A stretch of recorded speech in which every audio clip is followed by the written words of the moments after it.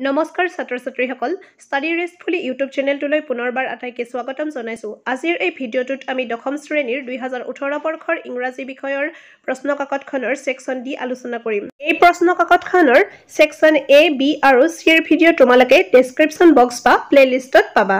ব'লা তেন্তে ভিডিঅ'টি আৰম্ভ কৰোঁ।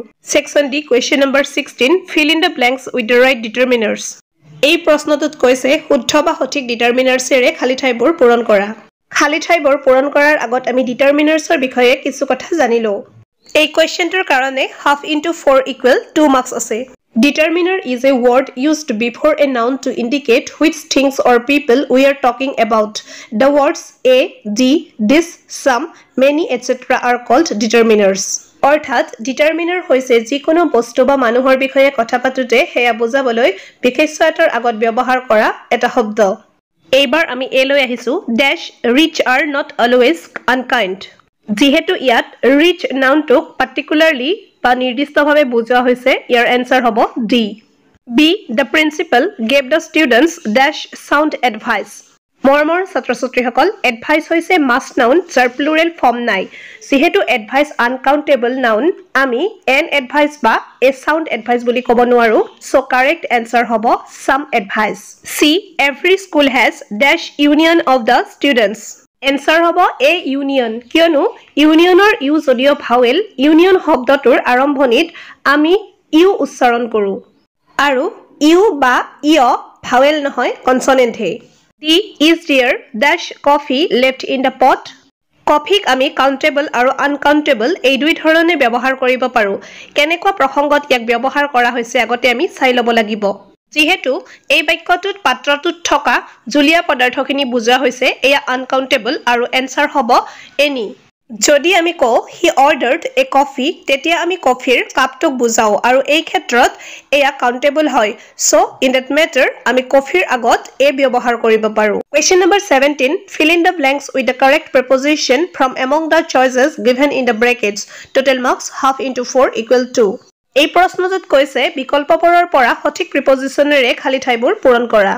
এ হি অলৱেজ ৰানছ ডেছ মানি অপশ্যনছবোৰ হৈছে এট ফৰ এফটাৰ আৰু কাৰেক্ট এনচাৰ হ'ব after b floor is made dash with options of from with correct answer from c write your answers dash black ink options with by in correct answer হৈছে in d the cow lives dash grass অপশ্যনছবোৰ হৈছে on আপন with correct answer on মৰমৰ ছাত্ৰ ছাত্ৰীসকল প্ৰিপজিশ্যনৰ ৰুলছৰ ওপৰত যদি বেলেগকৈ তোমালোকে ভিডিঅ' বিচৰা কমেণ্ট বক্সত কমেণ্ট কৰিবা।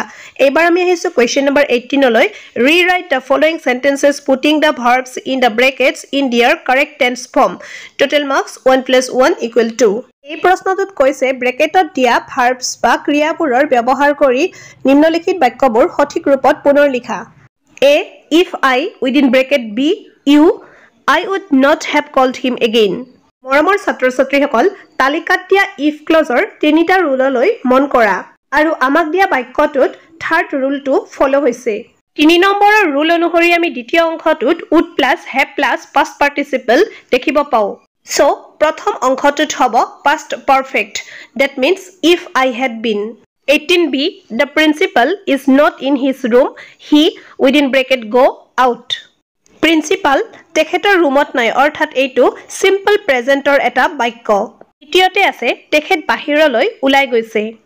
যিহেতু প্ৰথম বাক্যটো প্ৰেজেণ্ট ইনডিফিনিট বা বৰ্তমান কালৰ আৰু দ্বিতীয় বাক্যটোৱে এইমাত্ৰ হোৱা কিবা এটা কাৰ্য বুজাইছে আমি কনচিডাৰ কৰিব পাৰোঁ যে এইটো প্ৰেজেণ্ট পাৰফেক্টৰ বাক্য হয় অৰ্থাৎ বৰ্তমান কালত অলপ আগতে কামটো হৈছে।